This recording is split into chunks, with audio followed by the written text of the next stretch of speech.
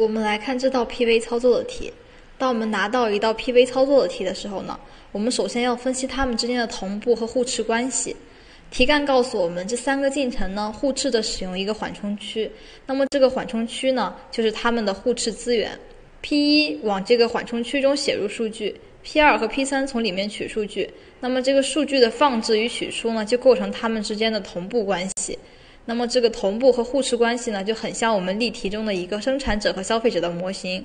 P 一呢就相当于是个生产者，P 二和 P 三呢就相当于是消费者。我们的 PV 操作呢，实际上就是对一个条件变量进行操作。我们的 P 操作呢，就是判断这个变量是否大于零。如果大于零的话呢，就把它减一，然后继续执行程序。如果这个变量已经为零了，那么 P 操作呢就进入到阻塞状态，等待这个变量变为一个大于零的数的时候，再继续执行程序。那么微操作呢，就是给这个变量加一，然后继续执行。对于互斥资源来说，对它的条件判断呢，就是判断一个进程是否有对这个互斥资源的使用权。我们设置了一个互斥变量 mutex，因为我们的互斥资源呢只有一份，所以说它的初值呢就为一。那么 p mutex 呢就是一个进程在申请缓冲区的处理权。如果此时 mutex 等于一，满足 P 操作执行的条件，那么 P 操作呢就会使这个变量减一，然后继续执行这个程序。那么此时呢，mutex 等于零。当其他的进程呢再来申请缓冲区的处理权的时候，他们的 P 操作呢就会在这里阻塞，从而保证了只有一个进程在使用这个互斥资源。而对于生产者 P 一来说呢，它除了需要获得互斥资源的所有权之外呢，它还要去判断一下缓冲区中有没有空位置来放置它所生产的资源。我们呢就给它分配了一个同步的信号量 empty。因为此时呢，我们的缓冲区中是没有资源的，所以 empty 的初值呢就是 n。那么 p empty 呢就相当于减少了一个空位，那么就是生产者往里面放入数据。那么 v empty 呢就是增加了一个空位，就是消费者从里面取出了数据。那么同样，对于我们的消费者 p2 和 p3 而言，他们也需要判断一个条件，判断这个缓冲区中有没有他们所需要的数据。我们就设置了两个同步的信号量 odd 和 even。对这个变量进行 P 操作呢，就意味着判断里面有没有他们所需要的数据。如果有的话呢，就取一个出来。那么 V 操作呢，就相当于往里面生产者往里面放入了一个数据。那么下面呢，我们来看一下他们的代码。我们首先呢是来看一下生产者的代码。生产者呢，首先要生产一个数据。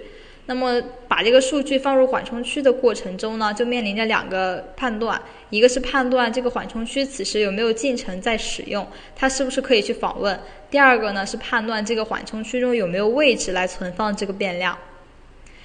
那么这两个判断的顺序是怎么样呢？我们假设先判断有没有使用权。也就是说，如果此时没有进程在使用缓冲区，那么 P 操作之后呢，我们的生产者就占用了这个缓冲区，然后我们再去判断这个缓冲区中有没有空位置。如果有空位置，那么一切程序照常运行，运行完成之后呢，释放出这两个资源。那么如果没有空位置呢，那么这个进程呢就会在这里阻塞，它会一直在等待有空位置出现。在它等待有空位置出现的时候呢，因为程序还没有运行完成，也不会再往下执行，那么永远不会有 v mutex 操作出现。也就是说，生产者一呢就永远不会释放出缓冲区。生产者一不释放，生产者不释放出缓冲区，那么消费者 P 二和 P 三呢也就没有办法进到缓冲区中去取出数据。也就是说，永远不会有空位置出现，形成了我们第四节的一个现象，叫做死锁。所以说，我们的生产者进程呢，就应该先判断有没有空位置来放数据，再去占有缓冲区。那么此时呢，它就可以对缓冲区进行操作，把自己的数据写入缓冲区。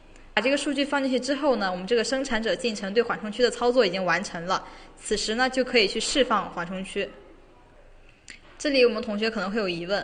我们现在已经把数据放进去了，并且释放了缓冲区，但是我们还没有说这个数据呢是奇数还是偶数。